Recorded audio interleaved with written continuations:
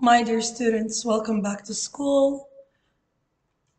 And I'm going to start talking about Unit 3 Turning Points. In this unit, you will learn about events that alter one's life, considering what kinds of things can lead a person to make a major change in his or her or in her life. Uh, you will read a variety of texts and view media as you discuss the essential question of the unit. The essential question will be, what can cause a sudden change in someone's life? The key concept is perspectives. The related concepts are genre and self-expression, and the global context is personal and cultural expression, philosophies, and ways of life. The statement of inquiry is, texts serve as a means for self-expressions and philosophies and perspectives of individuals. In this unit, you are going to be assessed on three criterions, analysis, analyzing, organizing, and using language. For analyzing, you are going to identify and explain the content, context, language, structure, technique, and style of texts, and the relationship among texts. You're going to justify opinions and ideas using examples, explanations, and terminology. For organizing, you're going to employ, employ organizational structures that serve the context and intention. You're going to organize opinions and ideas in a logical manner, and you're going to use referencing and formatting tools to create presentation styles uh, suitable for the context and intention.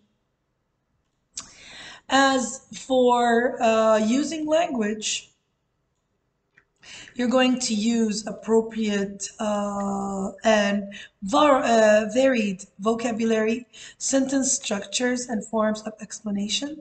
You're going to write and speak in appropriate register and style. You're going to use correct grammar, syntax, and punctuation and you're going to spell alphabetic languages right, character languages, and pronounce with accuracy, and you're going to use appropriate nonverbal communication techniques. The ATL skills are going to be uh, self-management, where you're going to uh, practice organizational skills. You're going to select and use technology effectively and productively. You're going to research um, and the cluster is going to be information literacy and skills. You're going to collect, record, and verify uh, data. Uh, you are going to integrate with grammar, with grammar where you are going to transform short story texts into play scripts and act it out. Um, okay. We're going to integrate with science as well. You're going to connect the unit and the turning points that occur in the human experience to nature. And you will discuss the following question. What sorts of turning points occur in nature and in the human experience?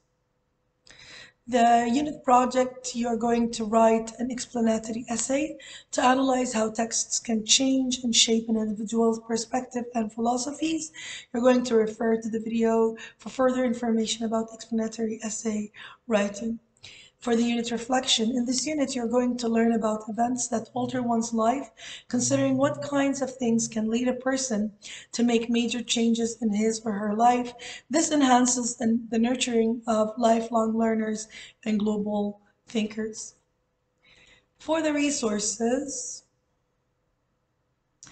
uh, you will have explanatory essay writing video, subject-verb agreement, elements of grammar, of drama, subject-verb agreement again, uh, uh, Christmas Carol analysis, thank you ma'am, analysis, and prepositions and prepositional phrases. I can't wait to start this unit with you guys. It's going to be uh, very interesting uh, the texts that we are going to cover are um, A Christmas Carol, uh, A Christmas Carol. We're going to uh, to discuss at the Crossroads launch text. We are going to uh, read A Christmas Carol um, 2. we're going to have thank you, ma'am, and we are going to have two explicit uh, activities. Um, that's all. Uh, I'll see you in this uh, fruitful unit.